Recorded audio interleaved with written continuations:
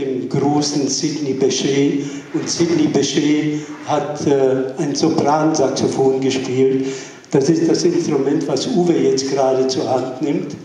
Und äh, einer der größten Erfolge von Sidney Bechet war Summertime.